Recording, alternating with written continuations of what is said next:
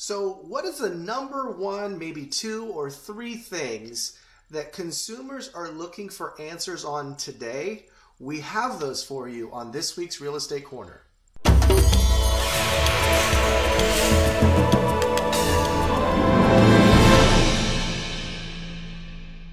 Hey friends, it's Andy Nazaroff with the Nazaroff team brokered by eXp Realty.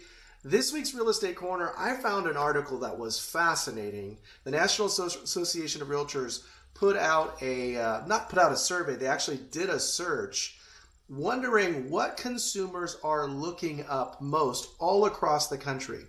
And it is not surprising to me because what's interesting is these are the questions that we get one on one. Yet most people are looking for the answers online and the truth is, we could probably give you a better answer. Here's what I know. When you do a search online, especially for topics as broad as this, what's the process of buying a home? Can I use my 401k to buy a home? Um, what does it take to do a refinance? Do I have the equity or value to be able to buy or to be able to refinance my home? The answers are all over the place online you ever heard the um, phrase paralysis by analysis? Or you end up getting so much information, it's all over the place, it's hard to figure out which one's right and which one's not.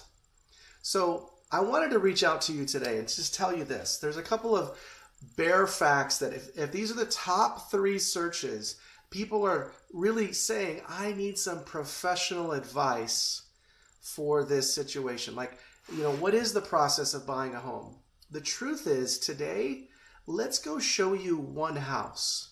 Reach out and say, hey, can I see this house on Banana Street? And then we can talk about what does this fit in terms of, you know, a match to what you're looking for. Tell us a little bit more about the home you're coming from. Then we might talk about, you know, are you ready to get pre-approved, etc. But let's reach out and look at a house together. Um, it's no big deal. We do it all the time. But most consumers don't know that that's what we'll do. Um, second question, that's the most common question I wrote down. Can you use your 401k to buy a home? Absolutely. You could borrow against it, it, is probably the better thing to do. Um, it's very common for home buyers to use some form of retirement funds or for a down payment assistance, but not to close out the account and pay those penalties. But if that makes sense for you or not, Depends. Reach out to us. We can ask a few more questions and decide if that's right. And then I've seen a significant, I mean, like two to three questions a day over the last several weeks. Do I have enough equity in my home to do a refinance?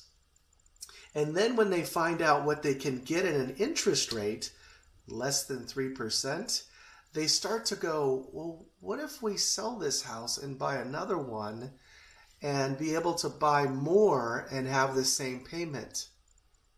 Now we're talking about stuff you can't find online as a blog search or a Google search. This is only stuff that comes from a one to one conversation with a pro.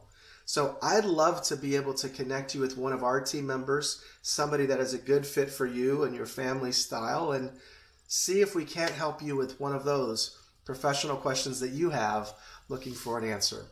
Reach out to us. Uh, maybe you can just reply back to more info at nazaroff.com or 559 427 7800. Until next time, have a great week.